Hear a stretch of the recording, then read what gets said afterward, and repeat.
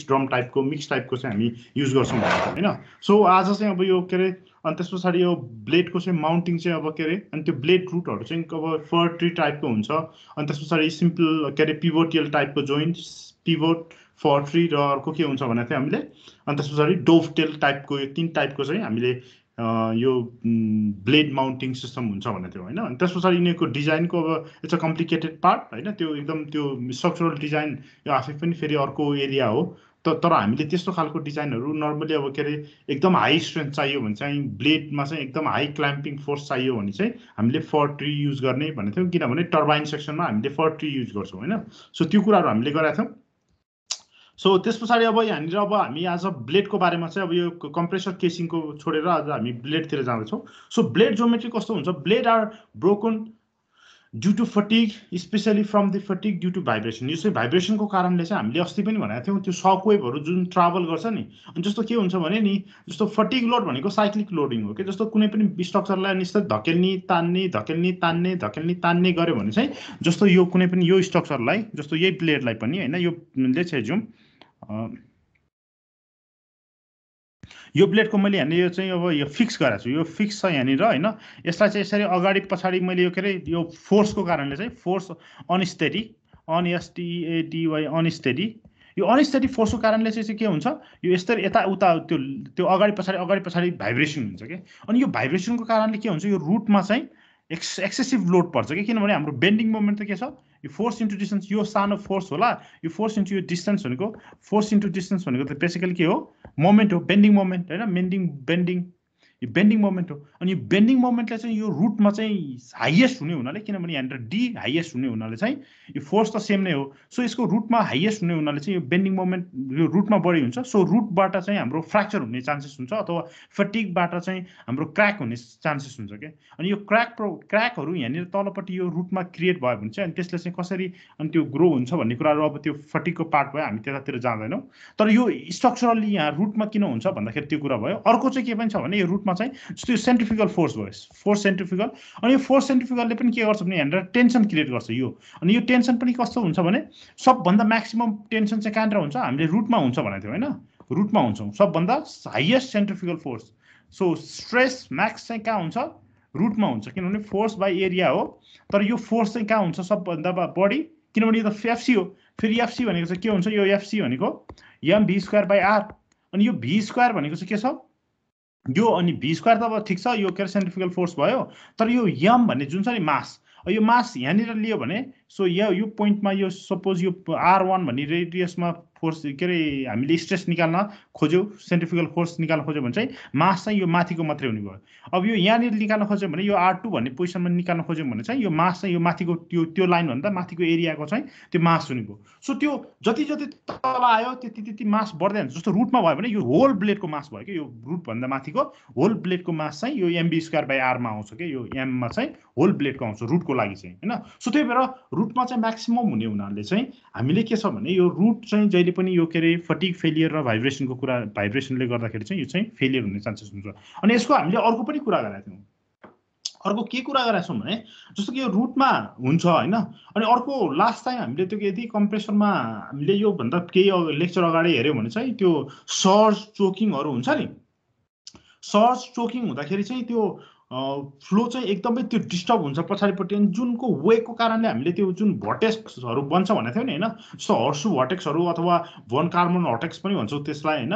हो त्यस्तो खालको भटेक्सहरू बन्ने हुनाले पछाडिपट्टि जुन वेक हुन्छ त्यो वेकको चाहिँ त्यो भटिसेसहरूको कारणले पनि के हुन्छ? यसको चाहिँ स्ट्रेन्थ चाहिँ यसको चाहिँ अब जस्तो फटिक लाइफ चाहिँ यसलाई त्यो भाइब्रेट गराउँछ कि त्यो वेकले त वेक किनभने वेक अनस्टेडी हुन्छ। त्यो अनस्टेडी फोर्सले चाहिँ यसलाई भाइब्रेसन गराउँछ। त्यसैले फेरि त्यो त्यो भाइब्रेसनले नै क्रिएट गर्ने भनेको अनस्टेडी फोर्स हो। त्यो अनस्टेडी फोर्सले क्रिएट गर्ने चाहिँ म्याक्सिमम् फोर्स म्याक्सिमम् स्ट्रेस भनेको चाहिँ रुटमै हो अहिलेको कारणले। सो अहिलेको मैले त्यो दुइटा के अरे त्यो अहिलेको पिक्चर बनाएको थिएँ होइन? So to reduce the vibration amplitude long blades are often made with a mid span support called snubbers or clappers होइन? सो यो बिचको यो जुन पार्ट छ नि यसलाई चाहिँ हामी स्नबर्स भन्छौँ क्या है यो स्नबर्स भन्छौँ। यसले के हुन्छ भने यो नेक्स्ट ब्लेड जुन यहाँनिर साइडमा बस्छ नि यो नेक्स्ट ब्लेडसँग यो एट्याच भइदिएको हुन्छ क्या अनि यो एट्याच भएर यसरी अनि यो फेरि अनि नेक्स्ट ब्लेड होला यहाँनिर होइन? त्यसको पनि यसरी एट्याच हुन्छ यतापट्टि दुई साइड नै हुन्छ। अनि यसरी गर्दाखेरि चाहिँ त्यो फ्रिक्सन हुन्छ क्या यो दुइटा स्नबर्स दुइटा ब्लेडको दुइटा स्नबर्स यसको पछाडिपट्टि नै हुन्छ है? यो अगाडिपट्टि मात्रै होइन एक साइडमा मात्रै होइन कि यो स्नबर्स दुई साइड नै हुन्छ। सो यो स्नबर्सले चाहिँ के गर्छ? एउटा चाहिँ के गर्छ? यसले भाइब्रेसन हुँदाखेरि चाहिँ यदि यो भाइब्रेट हुँदाखेरि चाहिँ त्यसले चाहिँ त्यो फ्रिक्सनको कारणले चाहिँ त्यो स्नबर स्नबर बिचमा चाहिँ फ्रिक्सनको कारणले चाहिँ के गर्छ? यसले ड्याम्पिङ गरेर चाहिँ हाम्रो फोर्सलाई चाहिँ घटाउँछ। अनि सेन्ट्रिफिकल फोर्स एकदम बढी भयो भने हाम्रो अभियसली इफिसियन्सी रिड्युस हुन्छ इन्जिनको at the end of the compressor temperature can reach up to five hundred to six hundred degree centigrade or even higher the material normally use for the blades are titanium aluminium alloy steel and composites होइन यो खालको मेटेरियलहरू चाहिँ हामी normally use गर्छौँ। Fan ब्लेडहरूमा so यो भयो हाम्रो फ्यान ब्लेडको होइन? सो फ्यान ब्लेडमा चाहिँ त्यो स्नबर्स र क्ल्यापर्सको काम के हो? एउटा चाहिँ यो फ्रिक्सन पनि हो। अर्को चाहिँ के छ भने त्यो नर्मली मेन प्राइमेरी चाहिँ फ्रिक्सन पनि हो। तर अर्को चाहिँ के भने यसले यसले चाहिँ कुनै पनि फ्लुइड पार्टिकलहरू अगाडिबाट आइरहेको फ्लुइड पार्टिकललाई चाहिँ एउटा यसले चाहिँ यसले चाहिँ फोर्स डाउन गर्छ। कि यसलाई यसरी हामी जान्थ्यौँ भने चाहिँ थोरै यसरी गएको थियो भने यसलाई चाहिँ के हुन्छ त्यो माथिपट्टि जान पनि रोक्नु चाहिँ रोक्छ। तर त्यो त्यो मेन प्राइमेरीको के अरे कारण चाहिँ होइन है। स्नबर युज गर्नुको त्यसले फ्लोलाई पनि अलिकति बेटर चाहिँ गराउँछ। Obviously there will be a friction drag होइन? फ्रिक्सन ड्राइगहरू त इन्क्रिज हुन्छ ड्राइगहरू तर यसले फ्लोलाई चाहिँ अलिकति मोर स्ट्रिम लाइन बनाएर मोर एक्सियल बनाउन चाहिँ हेल्प गर्छ। तर त्यो चाहिँ यसको प्राइमेरी ड्युटी चाहिँ होइन। प्राइमेरी फङ्सन भनेको चाहिँ के हो? एकदम हाई भाइब्रेसनमा चाहिँ यसले चाहिँ त्यो स्टिफनेस प्रोभाइड गर्छ र अनि ड्याम्पर स्टिफनेस पनि प्रोभाइड गर्छ किनभने एउटाले अर्कोसँग क्ल्याम्प भएपछि स्टिफ हुन्छ अनि अर्को ड्याम्पिङ पनि यसले प्रोभाइड गर्छ। सो मेजर यो उसकै काम हो क्या? यसको चाहिँ खास यो फ्रिक्सनल के अरे यो हाम्रो ड्याम्पिङ नै हो. मेन काम चाहिँ ड्याम्पिङ हो।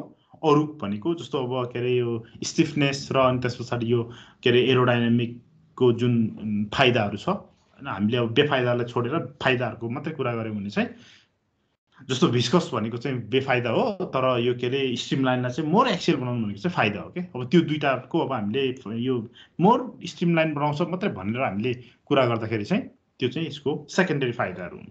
सो ब्लेड जोमेट्री चाहिँ कस्तो हुन्छ? They are very important part of the axial compressor compose of air foil and attachment fixing system blade suffer centrifugal aerodynamic and vibration force होइन?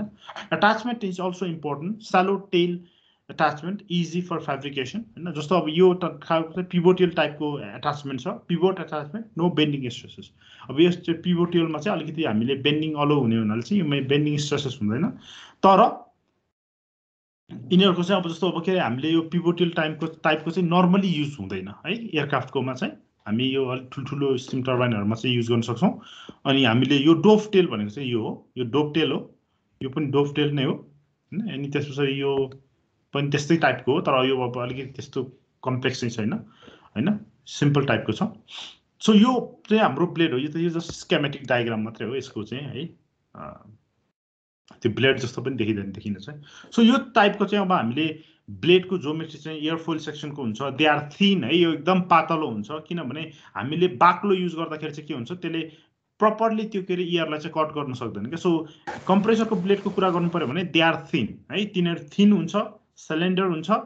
अनि त्यस पछाडि normally with a dovetail attachment होइन? अनि अलिकति लास्ट स्टेज कम्प्रेसर ब्लेडहरू चाहिँ it can have fir tree उसको फर ट्री एट्याचमेन्ट मेटेरियल युजमा चाहिँ के भयो? टाइटेनियमहरू एल्युमिनियम एलोइजहरू स्टिलहरू यस्तो खालको कम्पोजिट मेटेरियलहरू युज हुन्छ। कम्प्रेसरको ब्लेड्सहरू चाहिँ यो कुराहरू चाहिँ हामीले पढ्यौँ आज। सो तिमीले यहाँ हेर्न सक्छौ यो होइन? रोटर ब्लेड माउन्टिङ कसरी गरिन्छ भनेर यहाँनिर त्यो ब्लेडहरू एउटा एउटा राखेर यस्तो खालकोले चाहिँ के गर्छ यसलाई फिक्स गरेर चाहिँ एउटाले अर्कोलाई अर्को ब्लेडलाई अनि त्यस पछाडि योभन्दा माथि चाहिँ ल्याएर हामी केसिङ हाल्छौँ। यो सो दिएर डिफ्रेन्ट टाइप अफ यो के अरे लक पिनहरू चाहिँ यो लक पिनहरू यो लक पिन्सहरू चाहिँ हामी यो डिफ्रेन्ट तरिकाले युज गर्छौँ डिफ्रेन्ट टाइपको युज गर्न सक्छौँ। यो साइडबाट राखेको छ भने यो चाहिँ हाम्रो यो चाहिँ साइड प्लेटले चाहिँ यसलाई फिक्स गरेको छ होइन? भने चाहिँ यसले यसमा चाहिँ के छ यो लक पिनहरूले चाहिँ हामीले यसलाई माउन्ट गरेको छौँ। सो यहाँ पनि देख्न सक्छौ तिमीले यो चाहिँ डोभ टेल टाइपको एट्याचमेन्ट हो यो चाहिँ डोभ टेल हो।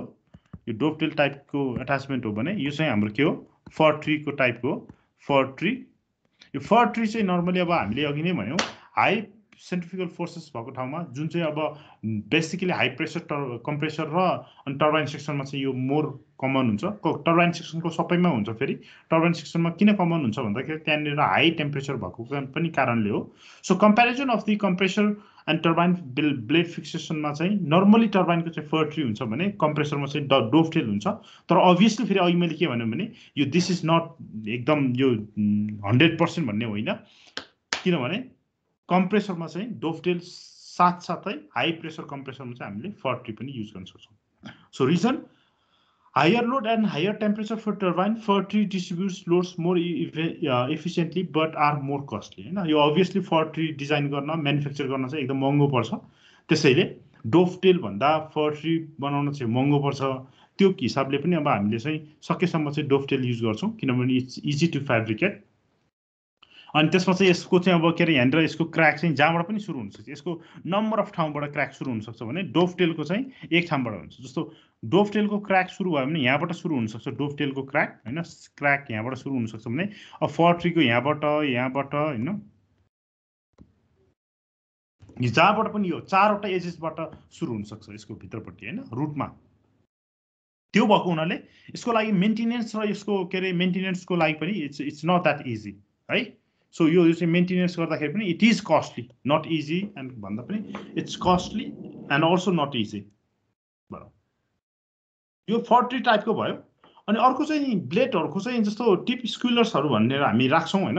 So the advance compressor blades also usually have a squealer section on the blade tip as shown in figure G होइन? यहाँ फिगरमा देखाइएको छ जीमा which are designed to wear in a safe manner if blades are in contact with the casing.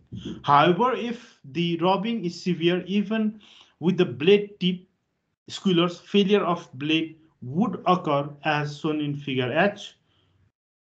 Figure H मा तिमीले हेर्न सक्छौ होइन Figure H, the rub, if severe, can lead to tip fracture and overall destruction of the downstream of the blade and diffuser vein due to domestic object damage. So के हुनसक्छ भने जस्तो तिमीले यो ब्लेडहरू हेऱ्यौ भने यहाँनिर जस्तो यो ब्लेड हेऱ्यो भने यहाँनिर यस्तो टुक्रा टुक्रा टुक्रा यहाँनिर अलिक यसो त टुक्राको त्यति गएको छैन है? सो यो दुइटा हेऱ्यो भने चाहिँ अझ क्लियरली देख्न सक्छौ। तिमीलाई मैले यहाँनिर यो जुम गरेर देखाएँ। सो यो टुक्रा टुक्रा भाँचियो नि होइन? भाँचिएर गएपछि के हुन्छ भने यो त कम्प्रेसरको अगाडिकोतिर सपोज अगाडितिरको ब्लेडबाट यो एउटा अगाडिको भाँचियो भने चाहिँ त्यो त के हुन्छ?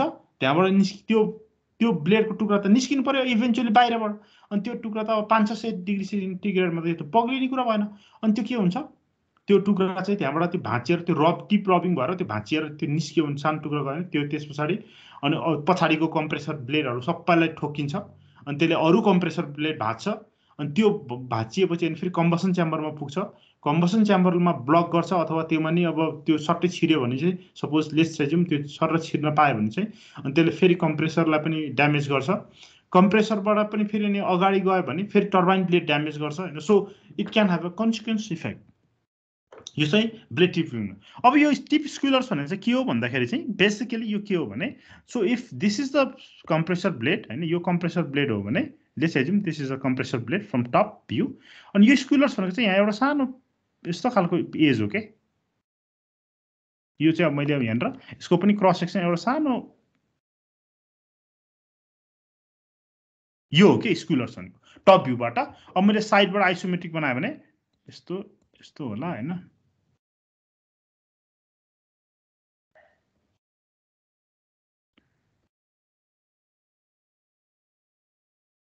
अब म यो अलिक एक्जाजरेट गरेर अलिक ठुलो बनाएको छु है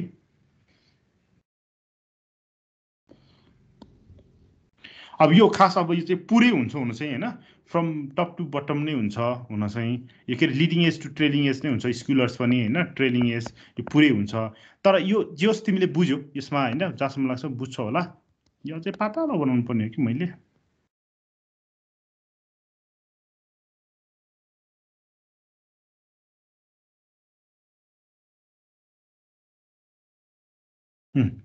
यो चाहिँ स्कुलर्स हो कि है?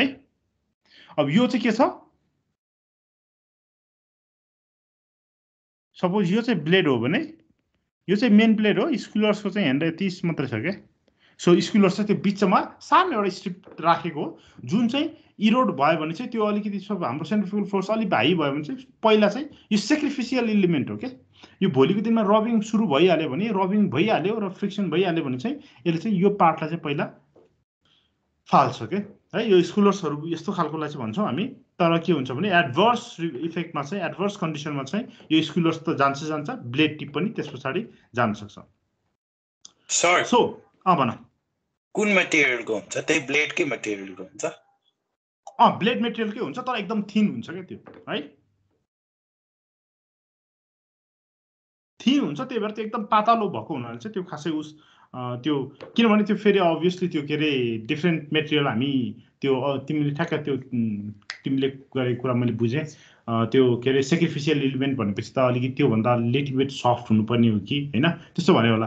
तर त्यो होइन कि यसमा चाहिँ सिम्पली त्यसको थिकनेस एकदमै पातलो भएको हुनाले चाहिँ त्यो स्कुलर टिप भनेको चाहिँ त्यो पातलो भएको हुनाले चाहिँ त्यसलाई चाहिँ रबिङ गर्दाखेरि चाहिँ त्यस्तो ठुलो चाहिँ त्यो फ्रिक्सन चाहिँ होस् तर त्यसले चाहिँ रुटको तलसम्म किनभने यो यो आफै मजाले डिफ्लेक्ट भइदियो भने त अनि त्यस पछाडि तलसम्म त ड्यामेज गरेन नि रुटलाई चाहिँ त्यति धेरै लोड नपरोस् अथवा ब्ले होल ब्लेडलाई चाहिँ धेरै असर नगरोस् भनेर हो। होइन त्यो चाहिँ यो चाहिँ नर्मली फेरि यो चाहिँ अब एयरक्राफ्ट इन्जिनमा भन्दा पनि यो यस्तो खालको स्कुलर्सहरू चाहिँ नर्मली हाम्रो स्टिम इन्जिनहरू होइन स्टिम स्टिममा अनि त्यस पछाडि अरू यो ग्यास जेनेरेसन गर्ने खालको त्यो के अरे इनर्जी प्रडक्सनको टाइपको जेट इन्जिन के अरे ग्यास टर्बाइन इन्जिनमा चाहिँ हामी बढी यो देखिन्छ। सो स्टेटर भेन्ट माउन्टलाई चाहिँ के छ भने स्टेटरको चाहिँ अब श्राउडेड भेन्ट्सहरू यो जस्तो यो छ।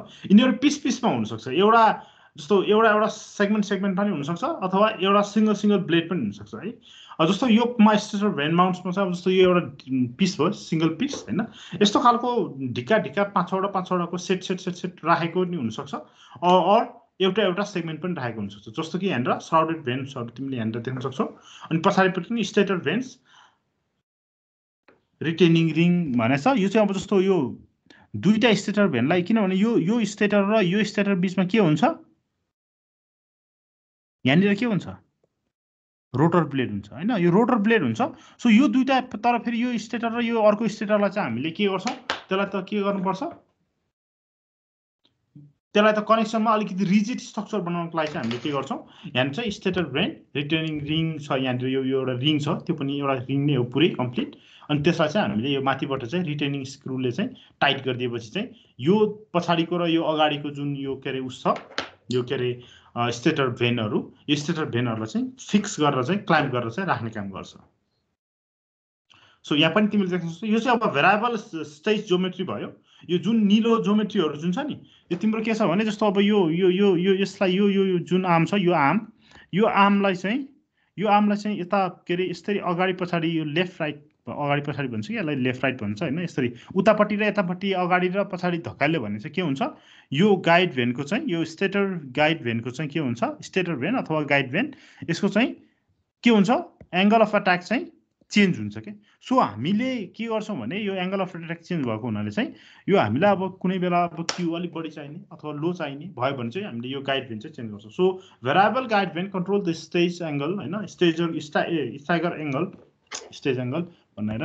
यो ब्लेड एङ्गल भनेको स्टाइगर भनेको चाहिँ यो जोमेट्रिकल एङ्गल अल्फा अल्फालाई हो। होइन स्टाइगर एङ्गललाई चाहिँ हामीले चेन्ज गर्न युजफुल हुन्छ। So stagger angle of the all stagger angle भनेको अल्फा पनि ठ्याक्स खासै होइन है। मैले उल्टो भनेछु। जस्तो यो ब्लेड भयो भने हामीले पहिला के भनेको छ भने जस्तो यो होला यो होला होइन यु होला अनि यस्तो गरेर हामीले यस्तो गरेको थियो होइन। सियुडब्लु यसरी गरेको थियौँ होला होइन? लेसेजुम तर स्टाइगर एङ्गल भनेको चाहिँ यो मैले सबै छोडेँ यो डब्लु पनि एङ्गल अफ एट्याक सक्नुहुन्थ्यो होला। यसको कर्ड लाइनले होरिजेन्टल लाइनसँग बनाएको ठिटा हो कि? यो चाहिँ स्टाइगर एङ्गल हो है। कर्ड लाइन अफ द ब्लेडले चाहिँ ब्लेडको कर्ड लाइनले होरिजेन्टल लाइनसँग बनाएको एङ्गल चाहिँ के हो? स्टाइगर एङ्गल हो। सो योलाई चाहिँ अगाडि के अरे बढाउने घटाउने काम गर्छ र त्यसले गर्दाखेरि चाहिँ तिम्रो क्युलाई चाहिँ हामीले जुन के अरे क्यु भनेको पर्फर्मेन्स चार्टमा हामीले होरिजेन्टल एक्सेसमा क्यु देखाएको थियो नि हो त्यो क्युलाई चाहिँ कमी घटी कमी घटी गर्न सक्छ होइन? कमी घटी कमी घटी दुइटै एउटै भएछ बढी घटी गर्न सक्छ अथवा it can increase or decrease the mass flow rate होइन? एम डट जिरोलाई चाहिँ बढाउने अथवा घटाउने काम गर्छ। एम डट जिरोलाई बढाउने अथवा घटाउने काम चाहिँ यो गाइड भेनले काम गर्छ। यो भेराइबल स्टेज जोमेट्री अनि तिमीले हाइड्रो पावरहरूमा नि यो एकदम देख्छौ होइन? यो जस्तो फ्रान्सिस रनरहरूमा नि यस्तो इनलेट भेन हुन्छ। तर hydro power are very simple in geometry because they only have one stator and one rotor तिनीहरूको के हुन्छ? एउटा स्टेटर र एउटा रोटर मात्रै हुन्छ जबकि हाम्रो ग्यास टर्बाइन इन्जिनहरूमा चाहिँ it consist of multiple stages so what is the purpose of the यो के अरे इनलेट गाइड भेन अथवा भेराइबल स्टेज जोमेट्रीको लागि चाहिँ यो भेराइबल इनलेट गाइड भेन चाहिँ को काम चाहिँ के हो त अथवा भेराइबल यो के अरे स्टेटर भेन्सहरूको काम के हो so the purpose to minimise the incidents uh uh of angle angles होइन अफ डिजाइन एङ्गल्स सो जस्तो कि तिमीलाई अब के अरे यो सी हामीले पहिला पढाएको छौँ नि यो के अरे क्यु घट्यो भने के हुन्छ? क्यु घट्यो भने के हुन्छ? हाम्रो ब्लेडको चाहिँ ब्लेडको चाहिँ कुन साइडमा सेप फ्लो सेपरेसन हुन्छ? क्यु घट्यो भने।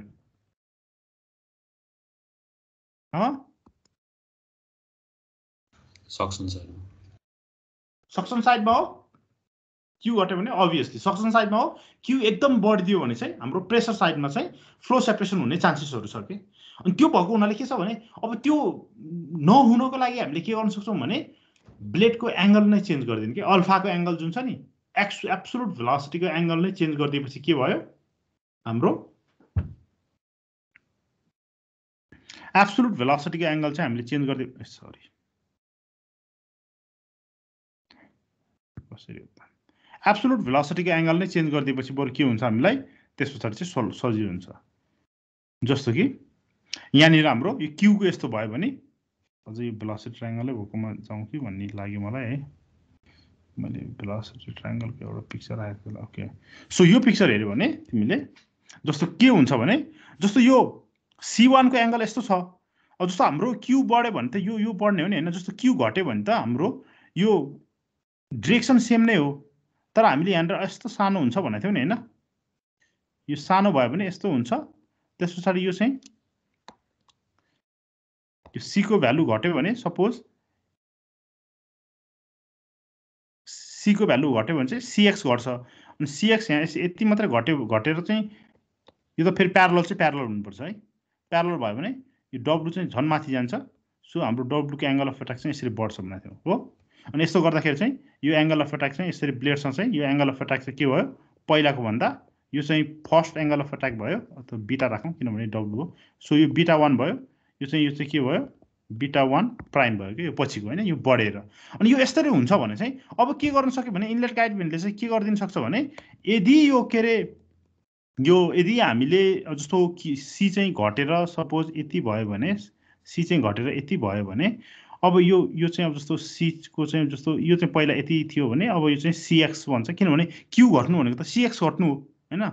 क्यु घट्नु भनेको सिएक्स घट्नु हो नि? होइन? किनभने क्यु भनेको सिएक्स इन्टु एरिया हो। अनि एरिया त कन्सटेन्ट हो। सो एरिया कन्सटेन्ट भएपछि सी वान एक्स घट्ने हो अनि सी वान एक्स घट्नु भनेको त सपोज हाम्रो यो सी वान एक्स चाहिँ पहिला कति थियो अहिले? यो केसमा चाहिँ सी वान मार्क्स यति छ होइन? अब हाम्रो घटेको सी वान एक्स कति हुन्छ? हाम्रो घटेको सी वान एक्स चाहिँ थोरै हुन्छ। लेस एजिम यति मात्रै भयो होइन? यो घटेको सी वान एक्स यति हुन्छ भने चाहिँ हाम्रो यसको एङ्गल चाहिँ यस्तो हुन्छ यो प्यारल हुन्छ। किनभने हाम्रो यो इनलेट गाइड भेनबाट पठाउँदाखेरि त यही एङ्गलमा पठाउँछ होइन? तर अब मैले के गर्न सक्छु भने यो इनलेट गाइड भेनलाई फेरि पनि यो मैले एङ्गल चाहिँ के गरिदिन सक्छु? इनलेट गाइड भेनको सी वानको डिरेक्सन चाहिँ क्यु चाहिँ घट्यो तर मैले एङ्गललाई चाहिँ चेन्ज गरेर मैले सी वानको डिरेक्सन यतातिर बनाइदिएँ कि। I change the direction so मेरो पहिलाको सी वानको डिरेक्सन यो थियो। डिरेक्सन ओरिजिनल अब मेरो मोडिफाइड डिरेक्सन कुन भयो? सी वानको मोडिफाइड डिरेक्सन चाहिँ यो चाहिँ? मोडिफाइड डिरेक्सन भयो कि? अब योमा यु त यही नै हो। यो यु त कन्सटेन्ट छ मेरो। अनि यु यही नै भयो भने त मेरो डब्लुको डिरेक्सन त के हुने भयो त्यस पछाडि? यस्तो हुने भयो होइन। सो यो बढ्न चाहिँ बढ्यो पखाइ। यो त्यो अलिक बढ्यो। सो मैले अझ यो बढाइदियो भने अझ यसको सीको डिरेक्सन अझ यता बढाइदियो भने चाहिँ मे मेबी यतातिर बढाइदियो भने चाहिँ अब हाम्रो यो सीको घट्यो। लेट्स एजिम यो पनि यतातिर गऱ्यो भने चाहिँ अनि यो मैले डब्लुलाई चाहिँ प्यारलली बनाउन सक्यो भने चाहिँ योसँग प्यारल बनाउन सक्यो भने चाहिँ मेरो एङ्गल अफ एट्याक चाहिँ मेरो सिएक्स घट्दाखेरि पनि मैले सी वानको चाहिँ यो मोडिफाइड डिरेक्सन चाहिँ अब यो नयाँ बनाउँदाखेरि अब मैले के गर्न सक्छु? डब्लु चाहिँ अप्टिमल डिरेक्सनमा चाहिँ मैले रोटरलाई हिट गर्न सक्छु कि डब्लुले चाहिँ। अनि त्यो भनेको मतलब चाहिँ मेरो फ्लो सेपरेसनहरू केही पनि हुँदैन कि। अनि त्यो भनेको मेरो बेटर सिचुएसन हो होइन? अनि सो इनलेट गाइड भेनको काम चाहिँ के हो? सो यो सी वानलाई चाहिँ तिम्रो के हो? यो इनलेट गाइड भेन अथवा यो पछि योभन्दा पछाडिको चाहिँ यो स्टेटर ब्लेड जुन छ नि योभन्दा अगाडिको जुन ब्लेडले छ नि यहाँनिर त ब्लेड छ। यहाँनिर यसरी ब्लेड छ। यो ब्लेड यस्तो थियो सुरुमा चाहिँ सपोज सुरुमा यो ब्लेड कस्तो थियो? योसँग यस्तो थियो होला। अब मेरो फाइनलमा चाहिँ त्यस पछाडि मैले अब यदि मेरो क्यु घट्यो भने चाहिँ मेरो फाइनल ब्लेड चाहिँ मेरो के हुने भयो यस्तो हुने भयो सो द्याट योसँग चाहिँ प्यारल चाहिँ यो होस् होइन? अनि त्यस्तो गर्दाखेरि चाहिँ हाम्रो फेरि डब्लु चाहिँ एज अ यो दुइटा डब्लु चाहिँ के भयो? प्यारल नै हुन्छ। अनि त्यो गर्दाखेरि चाहिँ यो किनभने रोटर ब्लेडले देख्ने फ्लो भनेको त डब्लु होइन? हामीले साइकल चलाएर हिँडे जस्तै हो। अनि त्यो डब्लु भएको हुनाले चाहिँ हामीले चाहिँ यो इनलेट गाइड भेनले चाहिँ त्यो हामीलाई त्यो इनलेट एब्सोल्युट भेलोसिटीको चाहिँ डिरेक्सन चेन्ज गरेर चाहिँ हामीले के गर्न सक्छौँ? रोटर ब्लेडमा चाहिँ अप्टिमल अपरेसन एचिभ गर्न सक्छौँ। है? त्यही नै हो। यो इनलेट गाइड भेनको चाहिँ काम त्यही नै हो। है? सो अब अरू के के छ? भन्दाखेरि चाहिँ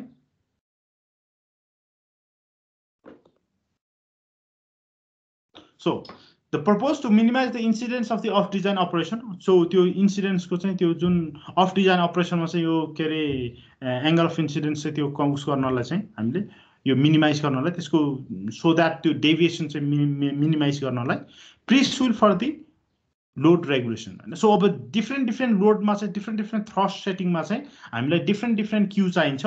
त्यसको लागि चाहिँ हामीले के गर्छौँ त्यो अगाडिको सुइल जुन हुन्छ नि यो सी वानको डिरेक्सनलाई हामी सुइल भन्छौँ।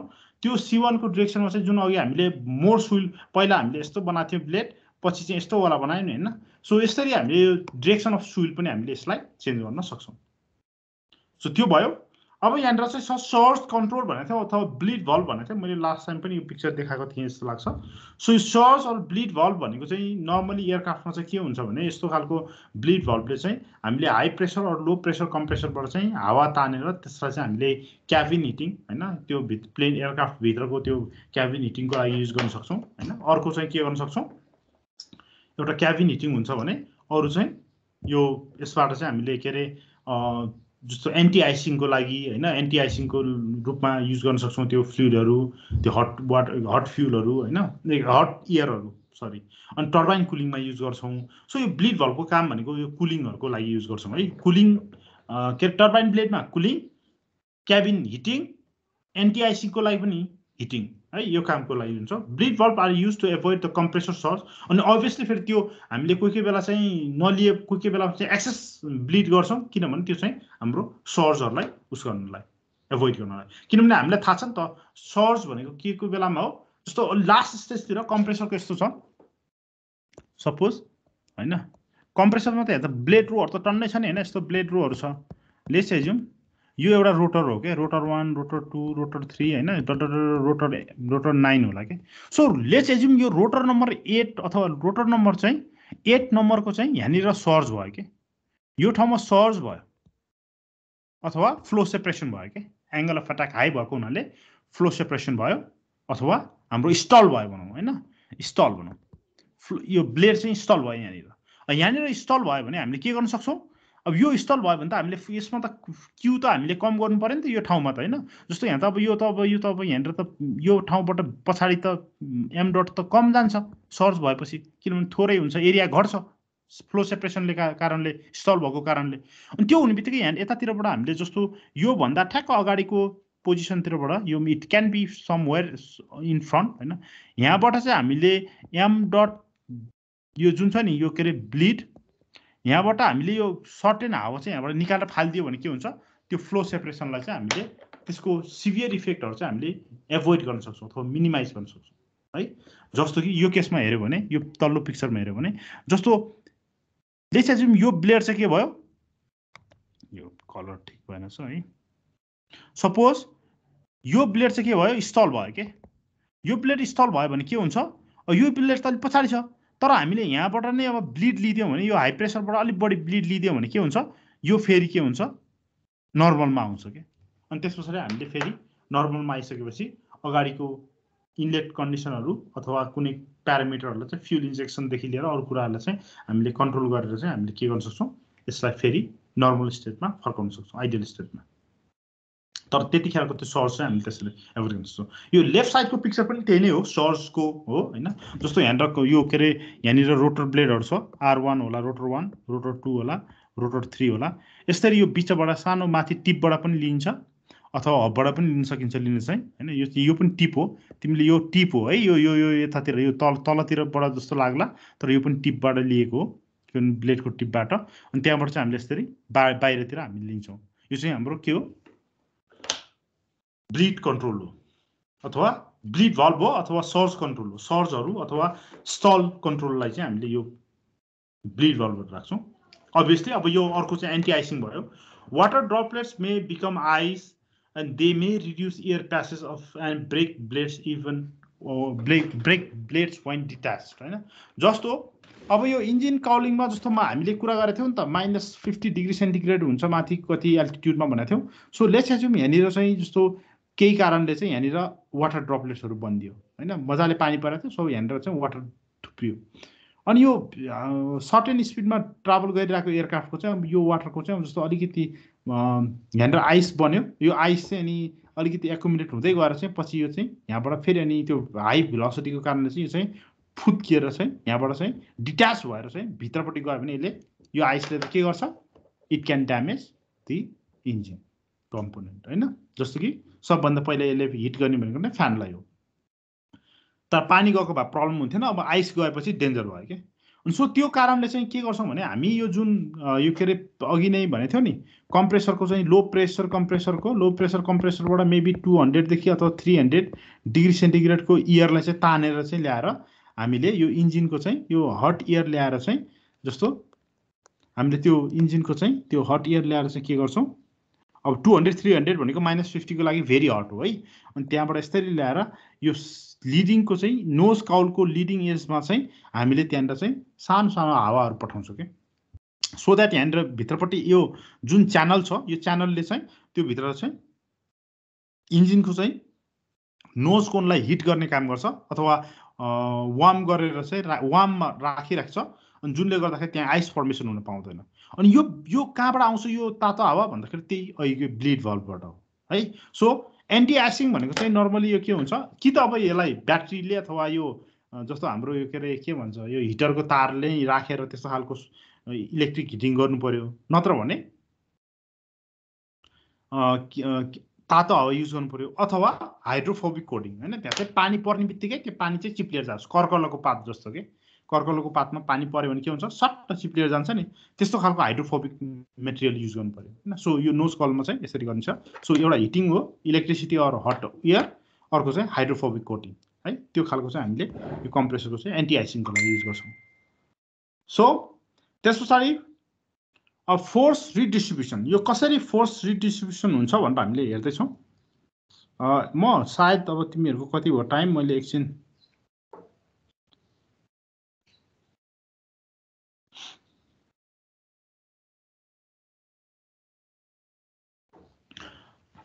है यो के अरे फोर्स रिडिस्ट्रिब्युसनमा चाहिँ अब हामीले पहिला के अरे तिम्रोमा हो कि अब मैले तिम्रो क्लासमा भनिसकेँ छैन तर हामीले बियरिङहरू युज गर्छौँ होइन सो फोर्स डिस्ट्रिब्युसन चाहिँ अब जस्तो अब हाम्रो साफ्टमा त के भनेको थियो हामीले पहिला पनि भनेको थियौँ होइन जस्तो कि एकदम के अरे हामीले ड्रम टाइपकोले चाहिँ डिस्क टाइपकोले चाहिँ के गर्छ सेन्ट्रिफिकल डिस्क टाइपले चाहिँ सेन्ट्रिफिकल फोर्सलाई एकदम बेटर विथ गर्छ सेन्ट्रिफिकल फोर्सलाई अनि ड्रम टाइपले चाहिँ के भन्छौँ ड्रम टाइपले चाहिँ टोर्सन होइन? टोर्सन अर्को के थियो? एन्ड टोर्सन एन्ड के केलाई विथ स्थान गर्छ बेटर ड्रमले चाहिँ। एनी वान बेन्डिङ एक्ज्याक्टली होइन? सो हामीले चाहिँ के भनेको थियौँ भने डिक्स टाइपको यो माउन्टिङ सिस्टमले सेन्ट्रिफिकल फोर्स गर्छ भने बियरिङ के अरे यो ड्रम टाइपले चाहिँ यो टोर्सन र बेन्डिङलाई राम्रो रेसिस्टेन्स दिन्छ भनेको थियौँ। अनि तर त्यो बाहेक पनि अनि फेरि त्यस पछाडि यहाँनिर एक्सियल लोडहरू पनि हुन्छ कि जस्तो कि साफ्टलाई जस्तो कि तिमीले थाहा होला होइन। यस्तो जस्तो हामीलाई थाहा छ नि एउटा होइन जस्तो यो के अरे फिरफिरे जुन छ नि यसरी हामीले यसरी राख्यो भने चाहिँ यसरी राख्यो भने यो विन्डले त यसरी ला यसरी आउँछ नि विन्ड होइन? विन्ड आयो भने चाहिँ यसले के क्रिएट गर्छ यहाँनिर चाहिँ? योमा दुईवटा टाइपको फोर्स हुन्छ यो ब्लेडमा चाहिँ। होइन? योमा चाहिँ एउटा के हुन्छ? यतातिर चाहिँ यो लिफ्ट हुन्छ। अथवा यो जुनले चाहिँ हाम्रो के हुन्छ? टर्क क्रिएट गर्छ। टर्क किनभने यो फोर्स इन्टु डिस्टेन्स गरेपछि के हुन्छ? टर्क हुन्छ। यो लिफ्ट फोर्स इन्टु डिस्टेन्स गरेपछि टर्क हुन्छ। अनि अर्को चाहिँ के हुन्छ? यता पछाडिपट्टि चाहिँ यो विन्डको ठ्याक्कै अपोजिट डिरेक्सनमा चाहिँ यो डिरेक्सनमा चाहिँ के हुन्छ? ड्राइभ क्रिएट हुन्छ क्या होइन सो यो विन्ड टर्बाइनहरू पनि यसरी हुन्छ। तिमीले फिरफिरे नै यसरी लिएर दौडियो भने पनि त्यो फिरफिरेले चाहिँ के हुन्छ? फिरफिरीमा लागेको हावाले चाहिँ त्यो तिम्रो हातको समातेको ठाउँमा चाहिँ त्योमा चाहिँ ड्राग क्रिएट गर्नु सो ड्राग यतातिर लाग्छ। त्यस्तै गरेर टर्बाइनमा पनि के छ भने टर्बाइन त के हो भने बेसिकल्ली टर्बाइनको स्टेज त यस्तो खालको अनि टर्बाइनमा त के हुन्छ भने यसरी के अरे यताबाट एकदम हट ग्यासेस कम्बसन च्याम्बरबाट कम्बसन च्याम्बरबाट एकदम हट एयर आउँदाखेरि यसरी बाहिर जाँदाखेरि त यसले त के हुन्छ भने एउटा एउटा टर्क क्रिएट गर्छ टर्क होइन टर्क जुन चाहिँ के हुन्छ?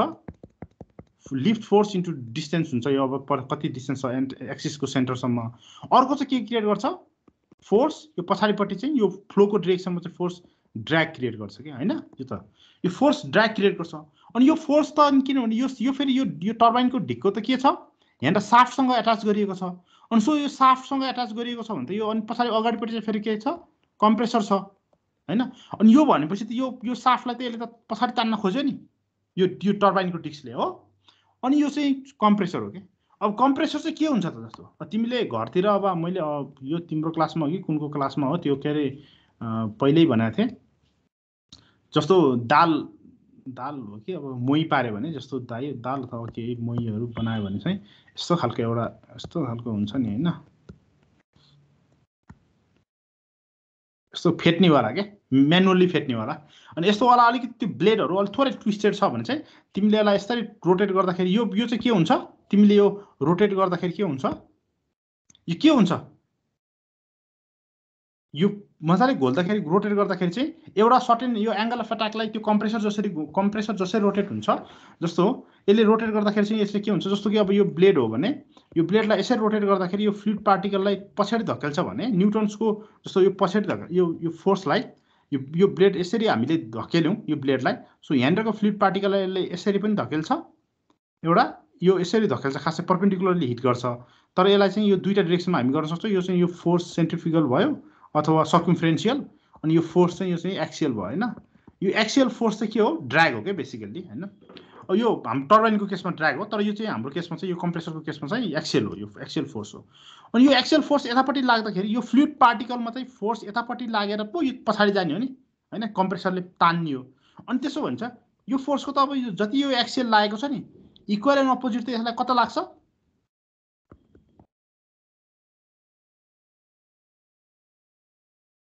यो ब्लेडमा त अगाडि लाग्यो नि। सो यो अगाडि लाग्यो। होइन त्यस्तै गरेर तिमीले यो यो यो के अरे दाललाई घोल्नेमा पनि तिमीले एकवटा सर्ट डिरेक्सनमा घोल्यो भने यो रोटेट गर्दाखेरि चाहिँ यो तल जान्छ क्या यो ब्लेड चाहिँ। किनभने यो फ्या यो जुन यो यो घोल्ने यो जुन सानो एउटा टर्बाइन जस्तो हुन्छ त्यसले चाहिँ तल तान्छ कि? अनि त्यस्तै गरेर यो चाहिँ अब त्यो पिक्चर भयो यो सिम्पल यो मैले त्यहाँ देखाउनलाई खोजेँ। अनि त्यस्तै गरेर कम्प्रेसरको चाहिँ के हुन्छ भने यो एफएक्सिएलले चाहिँ यो एफएक्सिएलको रियाक्सन फोर्स चाहिँ यो किनभने यो यो एफएक्सिएल भनेको चाहिँ यो के हो? यो चाहिँ फ्लुइड पार्टिकलमा लागेको हो। यो फ्लुइड पार्टिकलले चाहिँ तर यो फ्लुइड पार्टिकललाई कुनले हिट गरेको थियो? यो ब्लेडले। अनि यो ब्लेडमा चाहिँ कुन फोर्स लाग्छ? एक्सियल चाहिँ अगाडितिर लाग्छ क्या। सो यो अहिलेको पिक्चरमा चाहिँ मैले के भन्न खोजेको भने अब यो इन्फर्मेसन बुझिसकेपछि चाहिँ तिमीले के बुझ्नु पऱ्यो भने यहाँनिर इन्ट्रेस्टिङ छ। टर्बाइन चाहिँ ड्र्यागको कारणले यो फोर्स यतातिर लायो। हो?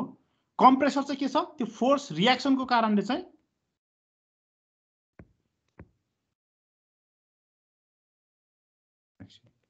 के भयो यहाँ त? There is a pulling of sports यो टग अफ वार कि के भन्छ नि? त्यो दुइटा डोरी तान्ने खेल्छ नि। हो त्यस्तै भयो कि? कम्प्रेसरले अगाडि तान्न खोज्छ साफ्टलाई यो होल एसेम्ब्लीलाई यो टर्बाइनले चाहिँ के गर्छ? यो होल एसेम्ब्लीलाई पछाडि तान्न सक्छ सो के हुन्छ यहाँनिर चाहिँ? यो साफ्ट चाहिँ के हुने भयो? टेन्सनमा हुने भयो।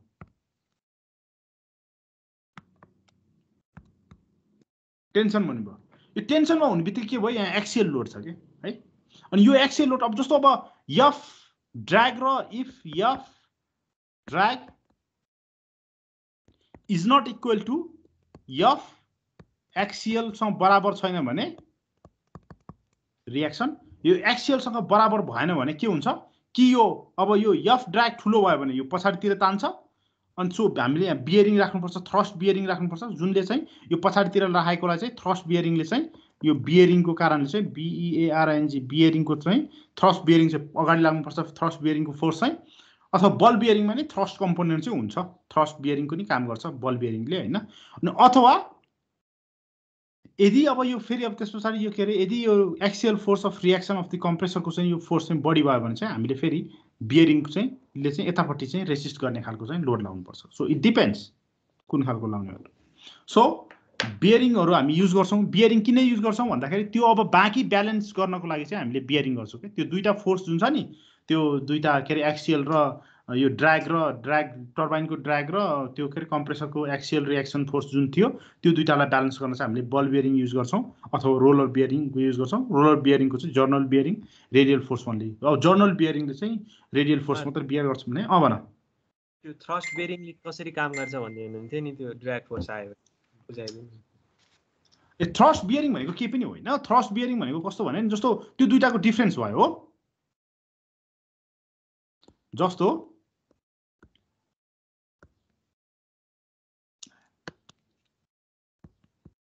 यो भयो यो यति बुझ्छ होइन यो टर्बाइन भयो यो चाहिँ कम्प्रेसर भयो। कम्प्रेसरले अगाडि तान्छ टर्बाइनले पछाडि तान्छ धकेल्छ होइन। त्यो। किनभने यहाँनिर बिचमा चाहिँ के छ कम्बसन च्याम्बर छ त्यो कम्बसन च्याम्बरको एकदम हाई प्रेसरको त्यो फ्लुइडले चाहिँ यसलाई धकेल्दाखेरि चाहिँ पछाडि फोर्समा भाग्दाखेरि चाहिँ कम् त्यो टर्बाइनबाट एकदम फोर्सफुल्ली भाग्दाखेरि चाहिँ के हुन्छ यो टर्बाइनको सेक्सनलाई चाहिँ पछाडि धकेल्न खोज्छ। सो त्यो त्यो फोर्स भनेको चाहिँ यो ड्राग फोर्स हो कि? होइन टर्बाइनको पछाडि धकेल्छ। अब यहाँनिर त अब जस्तो यो इम्ब्यालेन्स हुने बित्तिकै त यहाँनिर त यहाँ त सबै मेकानिकल कम्पोनेन्ट्सहरू हुन्छ। होइन यहाँ त सबै कम्पोनेन्ट्सहरू हुन्छ। यो डिस्क र अर्को डिस्कमा माउन्टेड हुन्छ। होइन अनि त्यो भएपछि त के गर्नु पऱ्यो भने अब यो त ब्यालेन्स गर्नु पऱ्यो नि जस्तो कि अब नत्र भने यतापट्टि गऱ्यो भने त त्यो त्यो खास त फोर्स यो इम्ब्यालेन्स कसैले पनि नरोक्ने हो भने त फोर्स अब जस्तो अब ड्राग ठुलो हो भने drag minus minus force reaction जुन भने मैले फोर्स एक्सियल रियाक्सनको जुन छ नि रियाक्सनकोले त के हुनुपर्छ? एमडेटी यो होल एसेम्ब्लीलाई के हुन्छ? यसको होल एसेम्ब्लीको मास इन्टु एक्सिलेसन होइन? यसको त सर्टेन मुभमेन्ट हुन्छ। यो त अब केसिङै छोडेर बाहिर भाग्नुपर्छ नि। तर यसलाई त केसिङहरूले सबै कुराले होल्ड गरे हुन्छ नि। होइन? अनि त्यो होल्ड गरे हुन्छ। अब तर त्यो हामीले होल्ड गरेर सबै स्टेसनरी पार्टले होल्ड होल्ड गऱ्यो भने के हुन्छ? स्टेसनरी पार्टले होल्ड गऱ्यो भने त त्यसलाई त फ्रिक्सन हुन्छ। किनभने यो त दिस इज रोटेटिङ टर्बाइन र कम्प्रेसरको यो साफ्ट त घुमिरहेछ फेरि।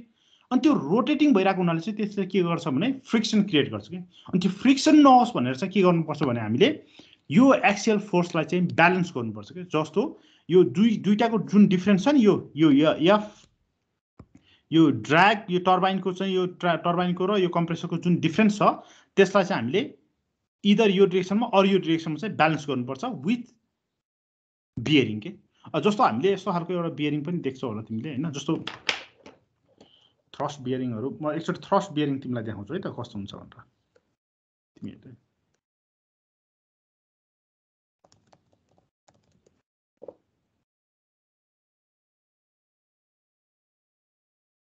अब यो चाहिँ बल बियरिङले पनि थ्रस्टको चाहिँ काम गर्छ होइन तर यो चाहिँ अझ अझ मोर थ्रस्ट बियरिङ चाहिँ अझ अझ यो उस टाइपको कि यो यो टाइपको है। ए नासी थ्रस्ट बियरिङ भन्छ क्या अनि यो थ्रस्ट बियरिङको चाहिँ काम के हो भने यस्तो छड्के टाइपको हुन्छ क्या यो छड्के टाइपले एसेम्बल गरेपछि यो साफ्ट चाहिँ आएर के गर्छ?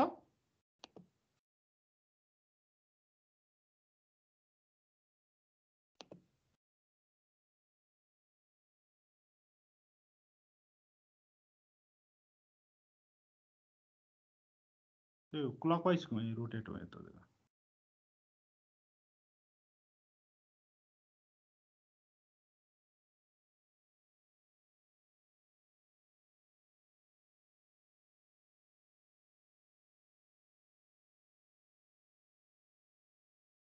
मैले यति एउटा एक्सप्लेन गर्छु अनि त्यसपछि म ब्रेक दिन्छु है? सो थ्रस्ट बियरिङको काम के हो भने यहाँनिर साफ्ट छ होइन? साफ्ट छ। अनि साफ्ट चाहिँ ठ्याक्क आएर यहाँनिर कप्लिङ हुन्छ कि यसरी फिक्स गर्छ यसलाई होइन? यस यसरी स्टेप हुन्छ जस्तो कि अझ मैले यसरी बनाएँ भने यस्तो राम्रो होला होइन? यसरी यसरी आउँछ।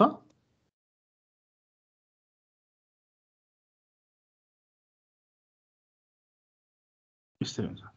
अनि यस्तो भएपछि के हुन्छ? अनि योभन्दा पछाडि फेरि फेरि टर्बाइनको चाहिँ डिस्क चाहिँ हाम्रो माउन्टिङ हुन्छ क्या होइन? अनि यतापट्टि पनि के हुन्छ?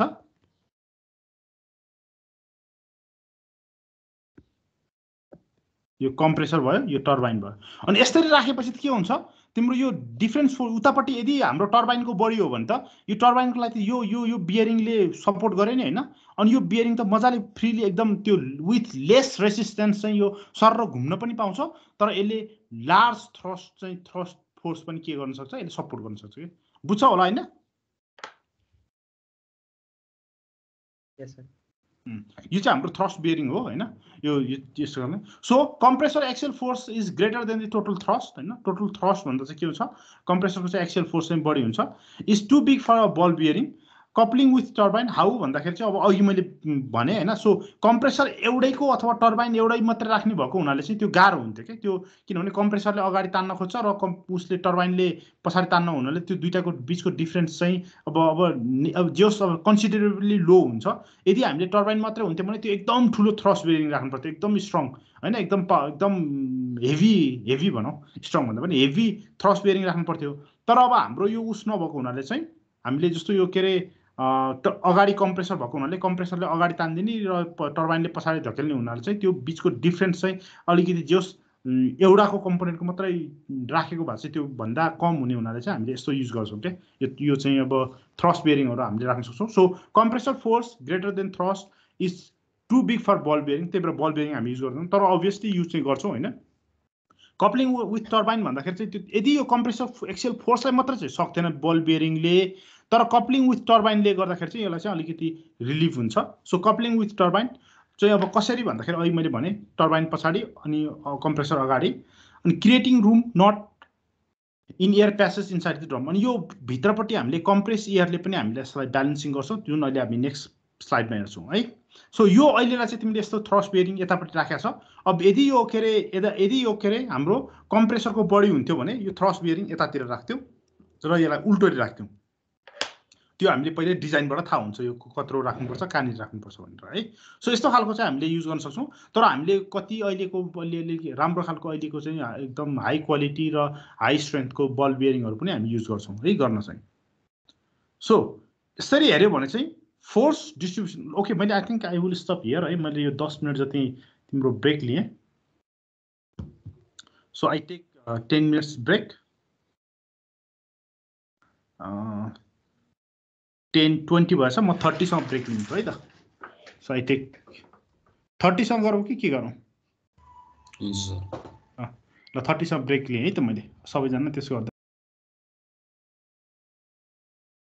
सो त्यतिखेरसम्म यो मैले यहाँ स्लाइड चाहिँ सेयर गरिरहेको हुन्छु। त्यो स्लाइड हेर हेर्दा पनि हुन्छ। एकछिन यो के अरे यो ग्रुपबाट आयो कि आएन मान्छे? यो सम्भववाला ग्रुप।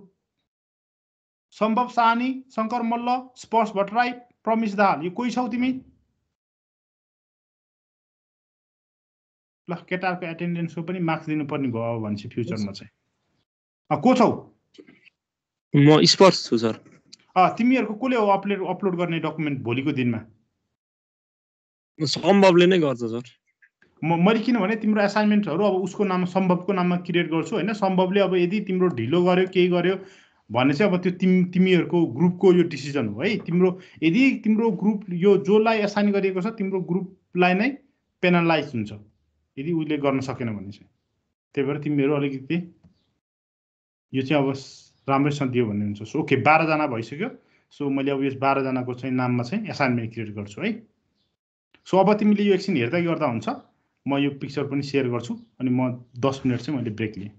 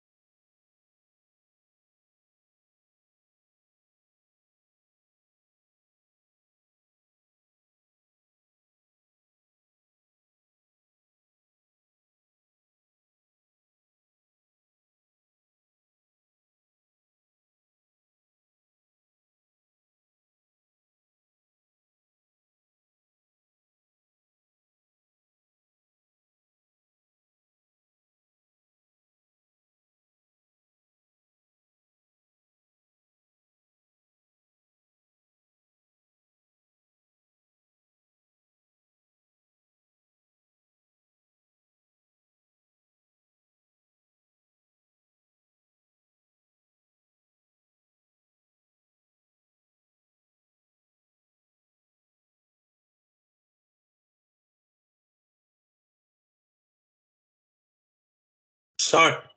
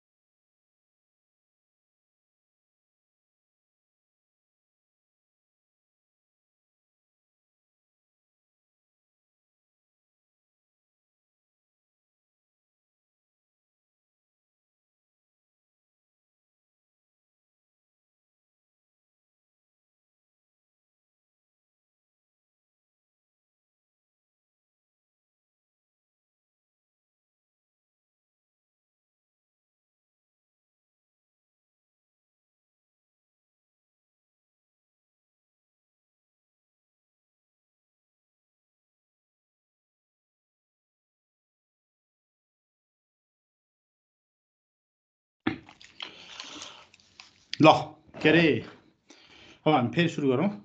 मैले यहाँ अर्को एउटा पिक्चर पनि भर्खरै अपलोड गरेर जस्तो लाग्छ है यहाँनिर राखेको जस्तो लाग्छ सायद त्यो भइसक्यो होला। ओके यहाँनिर तिमीलाई अर्को यो के अरे यो स्टिम टर्बाइनहरूमा पनि यो खालको युज गरे हुन्छ डिजाइन होइन? जस्तो कि यो तिमीले पिक्चरमा देख्यौ भने तिमीलाई यो यो जस्तो यतापट्टिको यो लेफ्ट र राइट साइडको दुइटा स्टिम टर्बाइन छ नि होइन? यो दुइटै एउटै साफ्टमा कपल गरिएको छ कि? अनि किनभने यहाँबाट बिचबाट हामी फ्लुइड तान्छौँ अनि त्यसपछि यता पठाउँछौँ एउटा अनि अर्को यता पठाउँछौँ कि? अनि सो यो एक्ज्याक्टली सिमेट्रिकल छ त्यसैले यतापट्टि नि यो के छ? एफ ड्र्याग छ यो राइट साइडको इन्जिनको चाहिँ यो राइट साइडको टर्बाइनको चाहिँ यो राइट साइडको यो सबै टर्बाइनको ढिक्काको अनि यो चाहिँ यफ लेफ्ट साइडको छ यो नि ड्र्याग अनि यो दुइटा बराबर भएको हुनाले चाहिँ हामीलाई मिनिमम एक्सियल थ्रस्ट हुन्छ कि एक्सियल त्यो जुन लोडिङ हुन्छ नि त्यो चाहिँ अब दुइटाको चाहिँ सिमेट्रिकल भएको हुनाले obviously there will be some dynamic changes होइन? डाइनामिक त्यो प्रपर्टीहरू त्यो प्र फ्लो प्रपर्टीहरू अलिकति थोरै चेन्ज हुँदाखेरि त्यहाँनिर यो के अरे एक्सियल थ्रस्ट हुन्छ तर त्यो चाहिँ एउटा टर्बाइनको जति हुन्छ सपोज यो होल एउटा मात्रै डिस्क मात्रै एउटा लेफ्टको अथवा राइटको मात्रै युज गर्दाखेरि जति के अरे यो एक्सियल फोर्स हुन्थ्यो त्योभन्दा धेरै धेरै कम हुन्छ होइन? Number of times maybe hundred hundred times or thousand times lower हुन्छ कि त्यो चाहिँ है लोड। त्यो भएको हुनाले चाहिँ हामीले यस्तै यसरी तर हामीले अभियसली अब यो टर्बाइन दुईवटा टर्बाइन राख्ने कुरा त भएन एयरक्राफ्ट इन्जिनमा त। अनि त्यही भएर हाम्रो अगाडिपट्टिको चाहिँ कम्प्रेसरले चाहिँ के गर्छ त्यो कम्प्रेसरले चाहिँ काम गर्ने हुनाले पम्पहरूको जस्तो काम गर्ने हुनाले चाहिँ त्यसले चाहिँ फेरि तान्छ अनि त्यही भएर त्यसले पनि त्यसरी नै ब्यालेन्स गर्छ। यो चाहिँ टर्बाइनको केस भयो।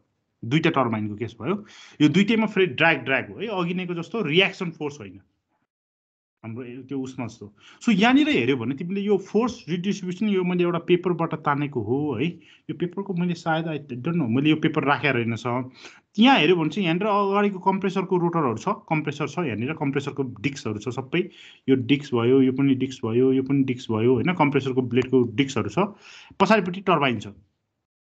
अनि यसले के गर्छ भने जस्तो कि अब तिम्रो यो के अरे कम्प्रेसरको चाहिँ अब जस्तो हाम्रो यो इच ब्लेडहरू पनि जस्तो इच डिस्कहरू पनि त्यो के हुन्छ भने इच डिस्कलाई पनि थोरै डेभिएट गराउन खोज्छ नि त बङ्गाउन खोज्छ।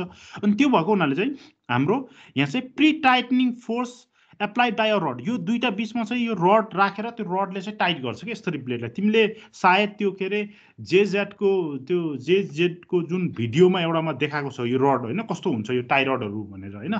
त्यो तिमीलाई सायद तिम्रो कोही साथीले चाहिँ प्रेजेन्टेसन दिँदाखेरि यो तिमीले देख्छौ होला। सो यो टाई रड हुन्छ यहाँनिर।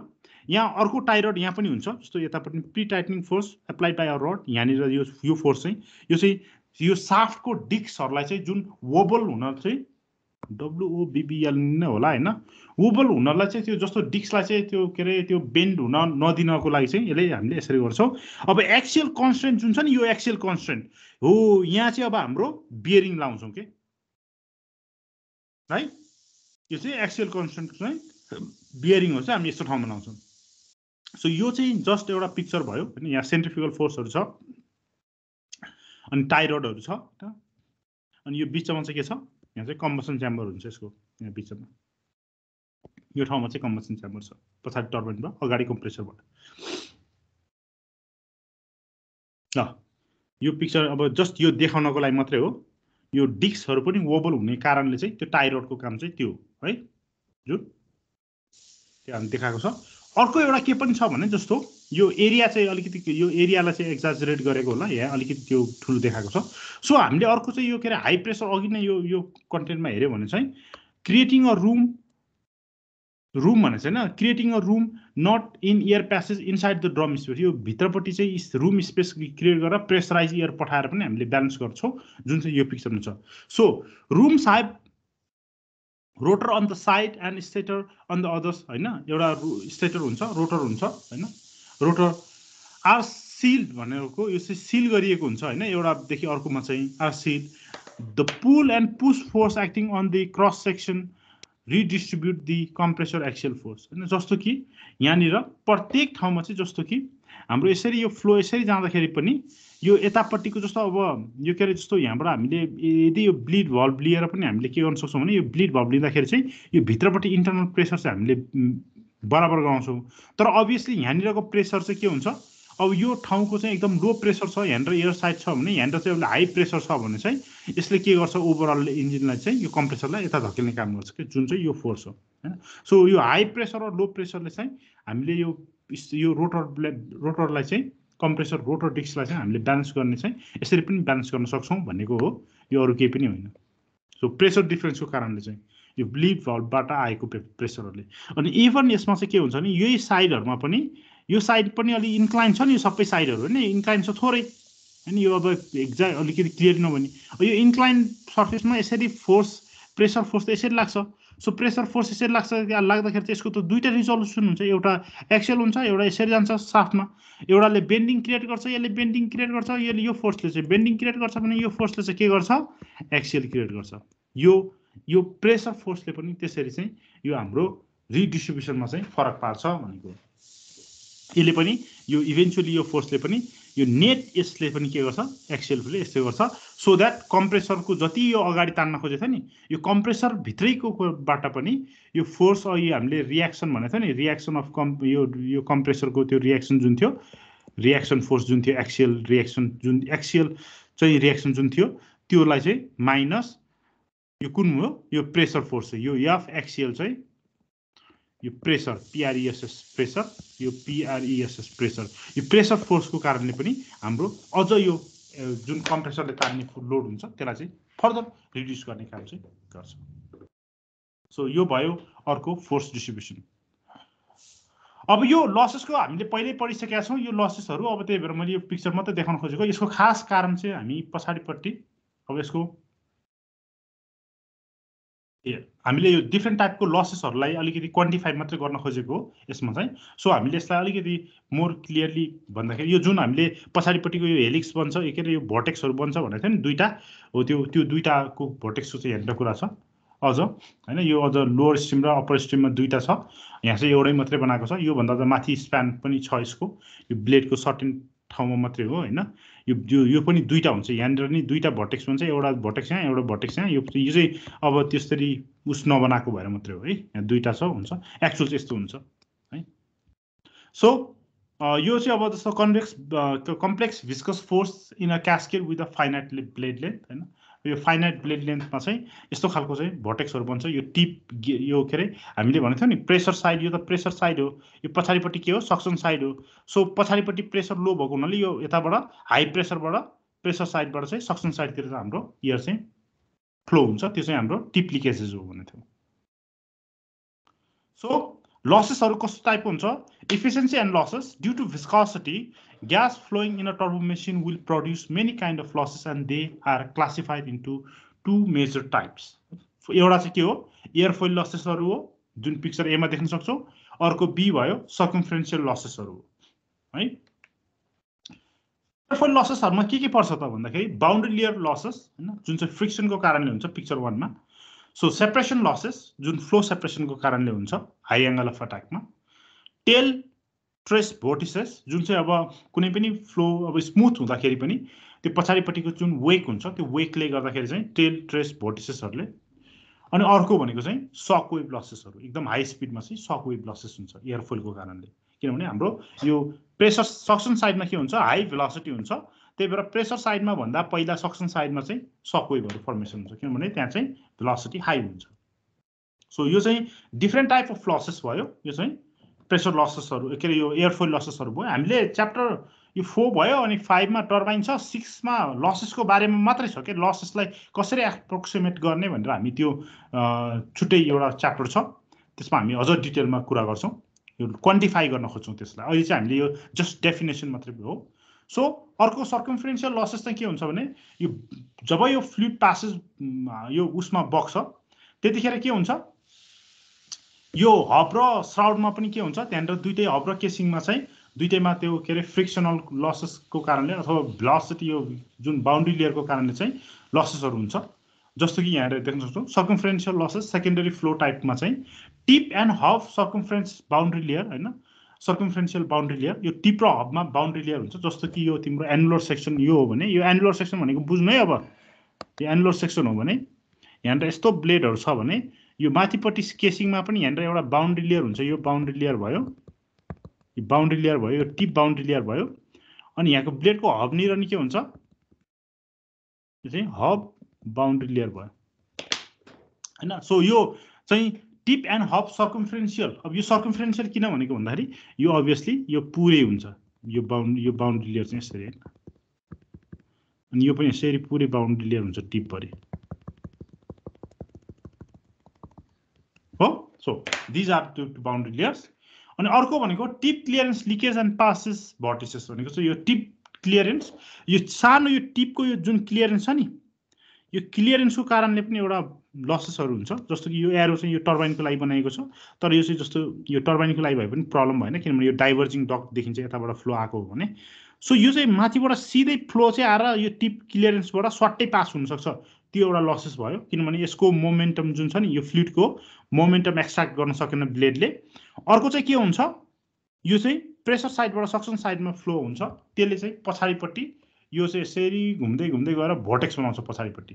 यो टर्बाइनको फिगर भने मैले अघि पनि यो यदि कम्प्रेसर हुन्थ्यो भने यो उल्टो हुन्थ्यो डिरेक्सन डिरेक्सन के हुन्थ्यो? कम्प्रेसर हुन्थ्यो भने यो यतापट्टि डिरेक्सन यस्तो हुन्थ्यो। र यस्तरी आउँथ्यो फ्लो चाहिँ होइन सो यस्तो हुँदाखेरि चाहिँ अनि यो पछाडिपट्टि चाहिँ यो भोटेक्सको कारणले चाहिँ पछाडि चाहिँ पुरै भोटेक्स हुन्छ। यो पनि लसेस हो। अनि यो इभन त्यो बााउन्ड्री यो सर्कमफ्रेन्सियललाई पनि अझ डिटोरिएट गर्छ कि? अनि अर्को चाहिँ यो माथिबाट आएको क्लिन हावा नै त्यो चाहिँ त्यसले चाहिँ मोमेन्टम ट्रान्सफर नगरिकन सिधै पास हुन्छ। त्यो पनि अर्को इस्यु हो। सो यो दुइटा चाहिँ के हो? Tip clearance leakage and passage भर्टिसेसहरू so यो दुई टाइपको चाहिँ सर्कमफ्रेन्सियल लसेसहरू छ। अब यहाँ पिक्चरमा अर्को पिक्चर देख्न सक्छौ तिमीले यहाँनिर होइन? जस कसरी बन्छ यो भर्टेक्सहरू जस्तो यसरी हाम्रो यो स्प्लिट यो स्ट्रिम लाइन पठायो भने यहाँबाट यसरी पठाउँदाखेरि चाहिँ यो हाम्रो यो प्रेसर साइड भएको हुनाले यो हाई प्रेसर भएको हुनाले यसलाई यतापट्टि पठाउँछ। अनि यो यसरी भर्टेक्स जुन छ नि यही भर्टेक्स हो। हामीले यसरी यो हेर्दाखेरि यो एउटा तलपट्टि एउटा भर्टेक्स बनेको माथिपट्टि चाहिँ अर्को के थियो? भने अर्को खालको भर्टेक्स बनेको। किनभने यो माथिपट्टि फेरि यसरी प्रेसर साइड हुन्छ नि। सो हामीले यो पिक्चरमा जुन छ नि यो हेलिक्सलाई चाहिँ मैले यसरी काटेँ भने यसरी काटेर हेऱ्यो भने यो प्लेनमा चाहिँ यो जुन हेलिक्स छ नि यो हेलिक्स। यो हेलिक्सलाई चाहिँ मेरो यहाँनिर पिक्चरमा देखाइएको छ क्या अघि नै। यो हेलिक्स भनेको यो हेलिक्स हो कि त्यो हेलिक्सलाई चाहिँ एक ठाउँमा काटेर मात्रै हेर्दाखेरि यस्तो सर्कमफ्रेन्सियल देखिन्छ। सो यो पिक्चरमा चाहिँ त्यो हेलिक्स चाहिँ यसरी आउँछ। अनि यो माथिपट्टि फेरि यसको यो चाहिँ हबतिर चाहिँ यस्तो हुन्छ। यो हबतिर चाहिँ यो खालको हेलिक्स बन्छ भने माथि टिपतिर के हुन्छ? यो टिपतिर चाहिँ फ्लो हामीले अघि भर्खर पढ्यो यो प्रेसर साइडबाट फ्लो चाहिँ सक्सन साइडतिर यसरी ट्राभल हुन्छ। अनि सो यसरी ट्राभल गर्दाखेरि चाहिँ के हुन्छ? यो यसरी बन्दाखेरि हेलिक्स चाहिँ के हुन्छ? यो हेलिक्स चाहिँ फेरि यस्तो हुन्छ। सो यो माथिको त्यो यो माथिको टिप भर्टिसेस र तलको यो जुन छ यो के अरे यो हबतिरको यो प्रेसर टु सक्सन साइडको कारणले जुन हेलिक्स बन्छ यो दुइटाको कारणले चाहिँ हाम्रो डबल हे डबल हेलिक्स चाहिँ यहाँनिर बनेको थियो। योमा चाहिँ यो कुनै पनि क्यास्केटको पछाडिपट्टि चाहिँ एउटा हेलिक्स अर्को हेलिक्सको दुइटाको कारणले चाहिँ त्यो बनेको थियो भनेर हामीले त्यही हेर्छौँ। त्यसलाई त्यसरी नै एक्सप्लेन गर्न सक्यो। सो यो थ्री डी लसेसहरू यो सबै। होइन अब जस्तो हामीले यसको अब यो यो चाहिँ कहाँनिर भने यो चाहिँ ठ्याक्क ब्लेडको पछाडिपट्टि हामीले प्लट गरेको हो। यहाँनिर चाहिँ ब्लेड छ यसको यो अगाडिपट्टि ब्लेड छ। सपोज यो चाहिँ कस्तो भने जस्तो हाम्रो ब्लेड रो छ भने यसरी ब्लेड रो छ भने तिनवटा ब्लेड छ यहाँ चाहिँ रो छ। यसले चाहिँ यो सेक्सनमा चाहिँ यहाँनिरको चाहिँ एए भन्ने सेक्सनको चाहिँ यो काटेर चाहिँ हेर्दाखेरि चाहिँ फ्लोले चाहिँ क्लियर देखिन्छ कि? यसको यो यो साइडमा चाहिँ यसको वेक हुन्छ यहाँनिर त होइन यसरी वेक हुन्छ। यहाँ वेक हुन्छ। यो वेक हुन्छ। यसरी वेक हुन्छ। यतापट्टि के भयो? यो प्रेसर साइड यो सक्सन साइड भयो। यो प्रेसर साइड भयो। सो यो चाहिँ के भयो?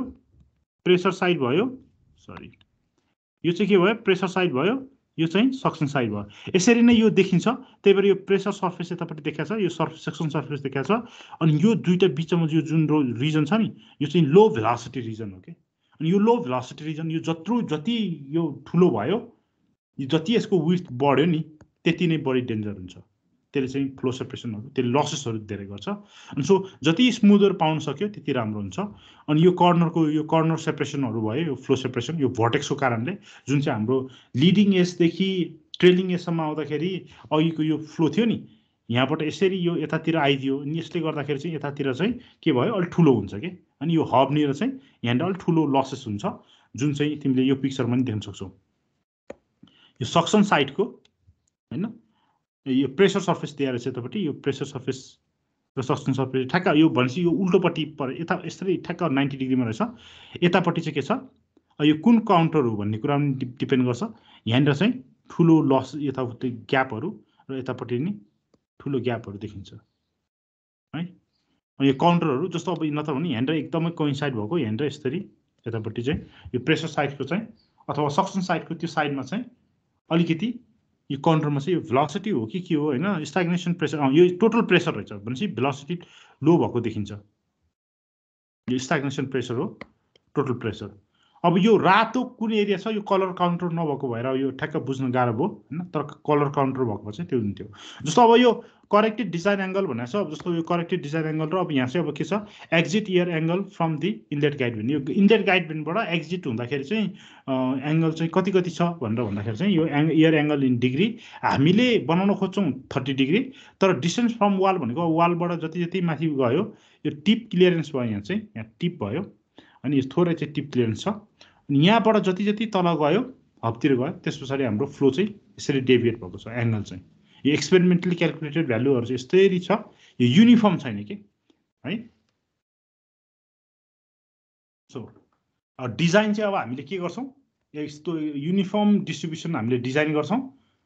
करेक्टेड डिजाइन एङ्गल पछि सिएफटी सिएफटी गरेर एक्सपेरिमेन्ट गरेर हामीले करेक्टेड चाहिँ यो निकाल्यौँ। अनि त्यस पछाडि फेरि एक्सपेरिमेन्ट गरेर लास्टमा त्यो करेक्टेडमा पनि एक्सपेरिमेन्ट गर्दाखेरि चाहिँ एक्चुअली आउँछ यो है त्यो एक्सपेरिमेन्टल हो त्यो चाहिँ सो यो चाहिँ अब हामीले डिफ्रेन्ट डिफ्रेन्ट टाइपको लसेसहरू कसरी काउन्ट गर्ने हामीले कहाँनिरको प्रेसर हेर्नुपर्छ तिमीले टर्बाइनहरू डिजाइन गर्दाखेरि चाहिँ त्यही भएर रोटरको पछाडिपट्टिको त्यो त्यो जुन हामीले यो कुन प्लेन हो? विच प्लेन इज दिस कुन प्लेन हो?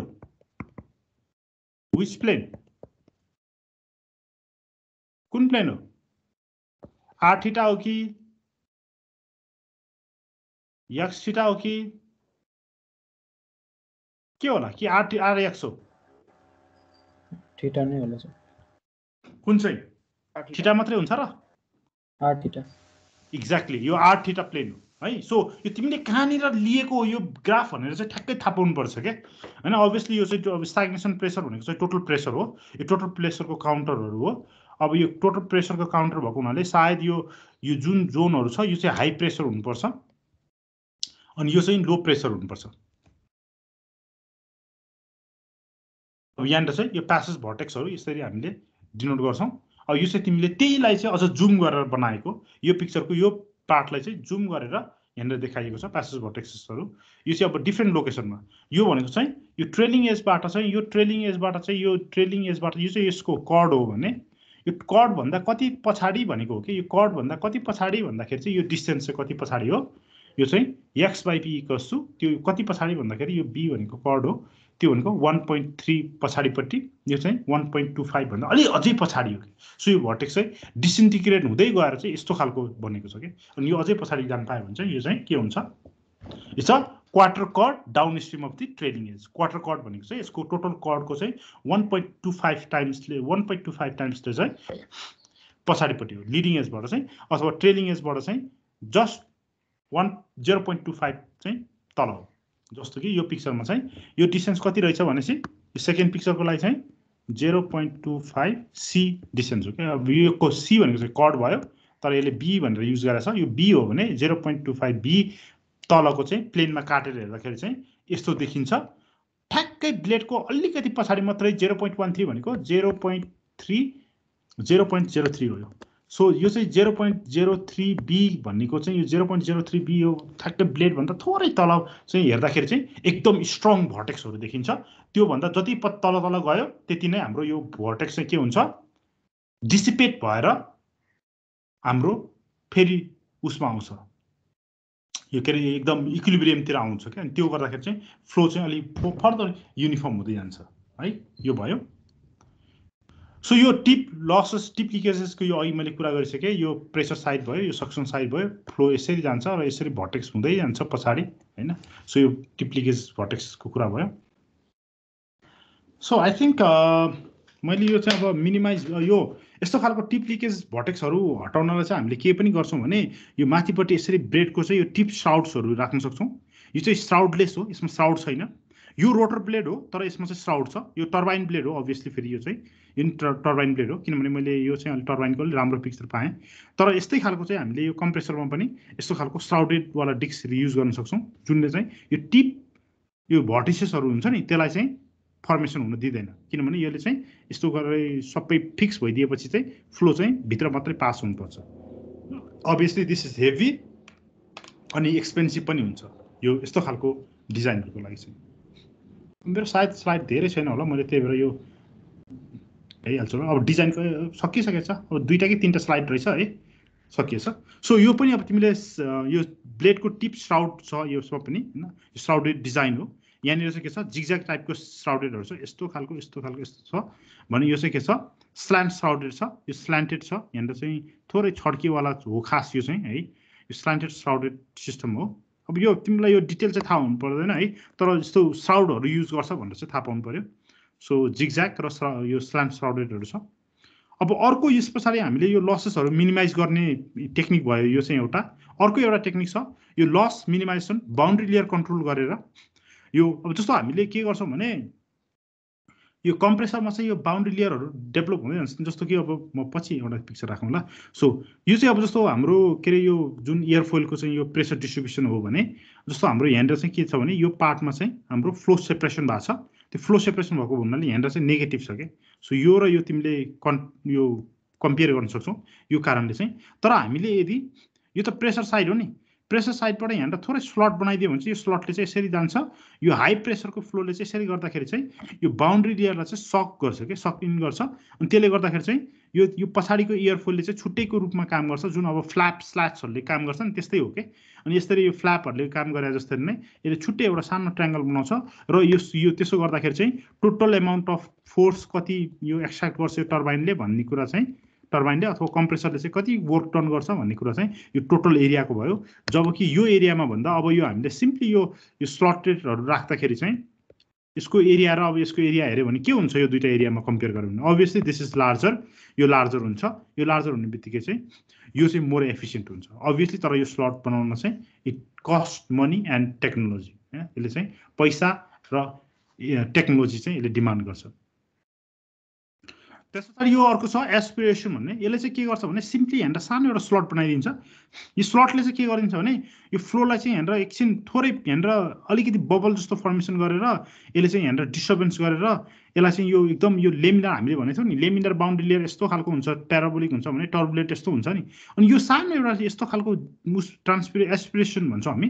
एसपिरेसन यस्तो सानो खालको एज बनाइदिएर चाहिँ के गर्छ भने फ्लो यसरी जान्छ अनि यहाँनिर चाहिँ अलिकति बब्ली हुन्छ। बब्ली भएपछि यहाँ चाहिँ अनि टर्बुलेन्ट बााउन्ड्री लेयर बनाइन्छ कि। मजाको राम्रो टर्बुलेन्ट बााउन्ड्री बनाइन्छ। यो टर्बुलेन्ट बााउन्ड्री लेयरको चाहिँ के हुन्छ? यो डेल्टा एस्ट्रिक चाहिँ सानो हुन्छ कि। यो चाहिँ बााउन्ड्री लेयर थिकनेस सानो हुन्छ। त्यसले चाहिँ अनि फ्लोलाई चाहिँ चोकिङहरू हुन दिँदैन कि। किनभने यो फ्लो यहाँबाट ढ्याक्क सेपरेसन भयो भने यो इफेक्टिभ एरिया घट्यो। तर यो बााउन्ड्री लेयर यो हुने बित्तिकै यो टर्बुलेन्ट हुने बित्तिकै यो टर्बुलेन्ट बनाउने बित्तिकै यो जुन यस्तो लो मोमेन्टमको यो चाहिँ जुन हाम्रो यो के अरे लेमिनार बााउन्ड्री लेयर थियो बााउन्ड्री लेयर यो चाहिँ टर्बुलेन्ट बााउन्ड्री लेयर भयो। यो टर्बुलेन्ट बााउन्ड्री लेयर चाहिँ मोर के अरे एनर्जेटिक हुने हुनाले हाई एनर्जी हुने हुनाले चाहिँ यसले चाहिँ फ्लोलाई चाहिँ यो के के गर्छ? त्यो सकिन गर्छ त्यो बााउन्ड्री लेयरलाई चाहिँ मोर थिनर बनाउँछ क्या? थिन बनाउँछ अझै सानो पातलो बनाइदिन्छ। त्यसले गर्दाखेरि चाहिँ मोर एफिसियन्ट हुन्छ। है यो एसपिरेसन भयो। तिमीले यसको पेपरहरू सक्छ। यो एसपिरेसन यो एसपिरेसनले युज गर्दाखेरि चाहिँ विथ सक्सन र विदाउट सक्सन हो यो। होइन? यो जस्तो अब यो सक्सन राख्नु र नराख्दाखेरि चाहिँ यो फरक के हुन्छ यहाँ? सानो एसपिरेसन राख्यो होला कतै। राम्रो क्लियर त छैन यो पिक्चरमा होइन तर तिमीले अब तिमीले पेपरहरू पढ्न सक्छौ यहाँ यतातिर कतै एसपिरेसन राख्नुपर्ने हो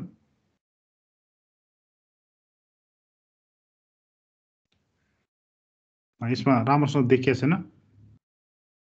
जस्तो कि यहाँनिर तिमीले हेऱ्यौ भने फ्लो सर सेपरेसन भएको छ यहाँनिर होइन मजाले सेपरेट भएको छ यहाँ पनि फ्लो मजाले सेपरेट भएको छ जबकि त्यो एसपिरेसन राख्दाखेरि फ्लो चाहिँ यहाँसम्मै एट्याच छ कि यहाँसम्म एट्याच छ हो यो फ्लो एट्याच भयो कि यहाँ पुरै एट्याच छ कि यहाँ थोरै यतातिर गएर मात्रै यहाँनिर होला यसको सेपरेसन होइन?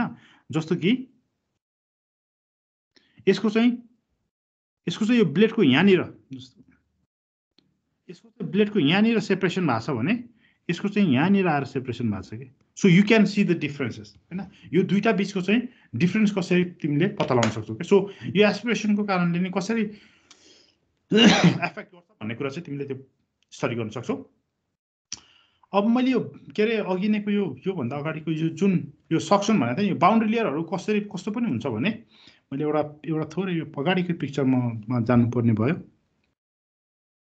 म एउटा पिक्चरमा जान्छु त्यस पछाडि मैले सकाएँ क्लास यो चाहिँ सकियो सकिन चाहिँ।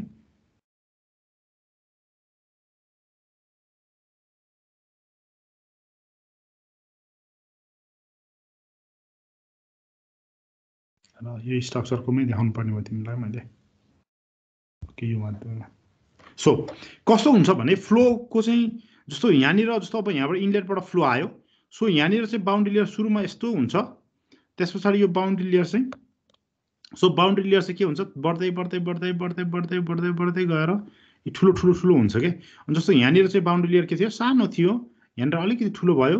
यो अलिक ठुलो भयो अलिक ठुलो भयो अलिक ठुलो भयो अलिक ठुलो भयो अलिक ठुलो भयो। अनि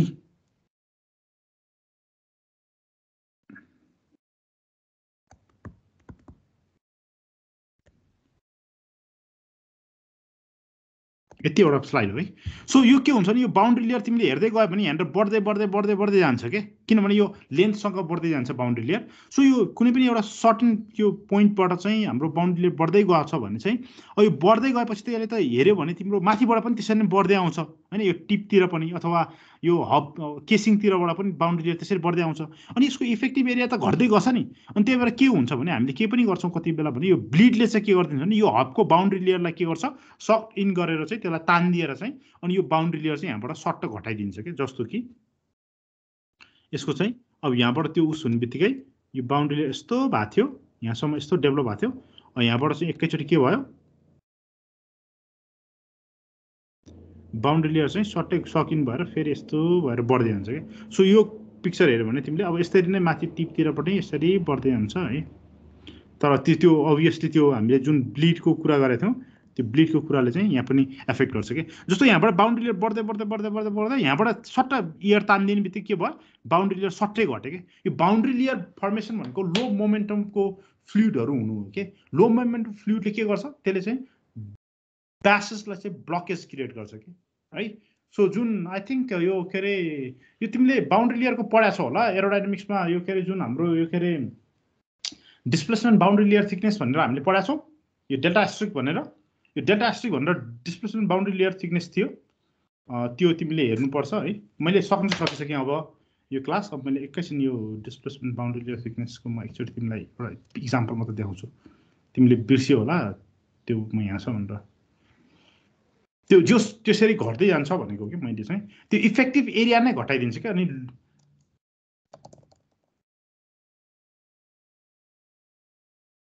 introduction to boundary layer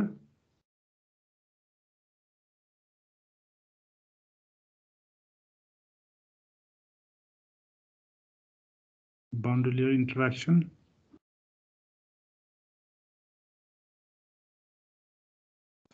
सायद होला हुन त अब यो च्याप्टर सेभेन्टिन भएको हुनाले तिमीले पढेन होला सो यो ज्या यो बााउन्ड्री लेयरको चाहिँ कस्तो हुन्छ भने जस्तो तिम्रो यो बााउन्ड्री लेयर थिकनेस चाहिँ यो डेल्टा एस्ट्रिक भनेको चाहिँ वान माइनस यो हामी यसले डिफाइन गर्छ यो यो भनेको चाहिँ युनिफर्म यो के अरे हाम्रो फ्री स्ट्रिम भेलोसिटीहरू भयो जस्तो कि यो बााउन्ड्री लेयर यसरी बढ्दै जान्छ कि जस्तो यो एउटा थिन प्लेट छ भने यसरी अनि फ्लो आएर ठ्याक्क त्यो फिन थिन प्लेटमा एट्याच हुने बित्तिकै त्यसको चाहिँ भेलोसिटी अब यो तलपट्टि यो बााउन्ड्री लेयर थिकनेस चाहिँ घट्दै बढ्दै बढ्दै बढ्दै बढ्दै बढ्दै जान्छ। अनि यो चाहिँ अब टेम्परेचर बााउन्ड्री लेयर भयो यो चाहिँ हाम्रो भेलोसिटी बााउन्ड्री लेयर भयो। यो दुइटा यसरी बढ्दै जान्छ। अनि यसरी बढ्दै जाँदाखेरि चाहिँ के हुन्छ भने हाम्रो इफेक्टिभ बााउन्ड्री लेयर थिकनेस भन्छु कि यो चाहिँ अब डेल्टा एस्ट्रिक भयो होइन। यो यसले चाहिँ के गर्छ भने यो इफेक्टिभ बडी भन्छु कि जस्तो यो बडीमा चाहिँ यसरी फ्लो बगिरहेछ भने चाहिँ एक्चुअली त्यो बााउन्ड्री लेयरको कारणले चाहिँ यो जुन यो डेल्टा एस्ट्रिकको छ नि यो लेन्थमा यो डटेड लेन्थ जुन छ नि यो इफेक्टिभ बडी भनेको चाहिँ यो बडी चाहिँ हुन चाहिँ यो सानो हो यो एक्चुअल बडी सर्फेस त्यो तलपट्टि तिमीले देखाएको छौ यो एक्चुअल बडी सर्फेस भनेको यो हो होइन? यो एक्चुअल बडी सर्फेस तर यो एक्चुअल बडी सर्फेस यो हुँदा हुँदै पनि यो एक्चुअल बडी सर्फेस यो जुन हो यो यो हुँदा हुँदै पनि यो यो एक्चुअल सर्फेस यो हुँदा भए पनि तर एक्चुअली फ्लुइड चाहिँ कसरी जान्छ भने एक्चुअली फ्लुइड चाहिँ यसरी गएको जस्तो हुन्छ क्या।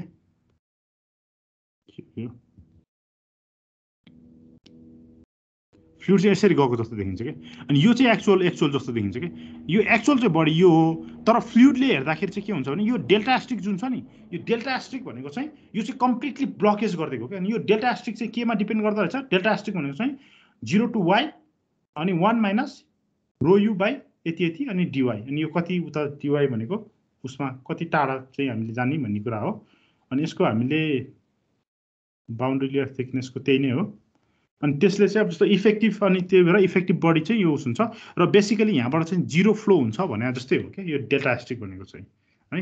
यसको भेलोसिटी प्रोफाइल हेऱ्यो भने चाहिँ तिमीले भेलोसिटी प्रोफाइल निकाल्नु पऱ्यो भने चाहिँ तिमीले सिम्पली यो यो युबाट निकाल्नुपर्छ होइन। यो यु चाहिँ भेलोसिटी प्रोफाइल हो यो यु चाहिँ। तर यो युई चाहिँ फ्री भयो होइन। जस्तो यसरी अब युई र रोई चाहिँ यो अगाडिको भयो यो फ्री स्ट्रिमको भयो यो भित्रपट्टि यो बााउन्ड्री लेयरको भेलोसिटी र भेलोसिटी चाहिँ यु भयो कि? होइन? अनि यो एज बााउन्ड्री लेयर अनि तिम्रो भेलोसिटी घट्दै घट्दै गएर अनि यो चाहिँ जहाँनिर यो एज हुन्छ त्यो चाहिँ ninety nine point of free stream हुन्छ। यो यो एजमा चाहिँ यो कालो जुन यो लाइन छ नि यो बााउन्ड्री लेयरको यो चाहिँ त्यो त्यो हो। होइन? अनि यो चाहिँ डेल्टा भनेको चाहिँ के हो? बााउन्ड्री लेयरको थिकनेस हो। अनि यो डेल्टा एस्ट्रिक भनेको चाहिँ डिस्प्लेसमेन्ट थिकनेस हो। वेयर डेल्टा एस्ट्रिक यता डिस्प्लेसमेन्ट थिकनेस चाहिँ के हुन्छ? High proportion to the missing mass flow के अथवा यसलाई चाहिँ हामी मिसिङ मास फ्लो पनि भन्छौँ अथवा डिस्प्लेसमेन्ट थिकनेस पनि भन्छौँ। यो च्याप्टर सेभेन्टिनमा रहेछ तिमीलाई हेर्न मन लाग्यो भने यो डिस्प्लेसमेन्ट थिकनेसको बारेमा तिमीले यसो युट्युबमा हेर्न सक्छौ एउटा सानो भिडियो सर्ट भिडियो है। सो यति भन्दै मैले आज बाह्र बजे छ मैले I think I will stop यो यहाँ नै है। अब मैले शुक्रबार चाहिँ सायद यो के अरे मैले कम्प्रेसरको सकाएँ अब मैले यो शुक्रबार टर्बाइनको सुरु गर्छु। सेभ गरिदिउँ न ल मैले एटेन्डेन्स लिइहालेँ एकचोटि अनि त्यस पछाडि अब म शुक्रबार चाहिँ अब फेरि भेटौँ ल है मैले अहिले राखेँ कसैलाई केही छ भने भन न तपाईँ मैले राखेँ है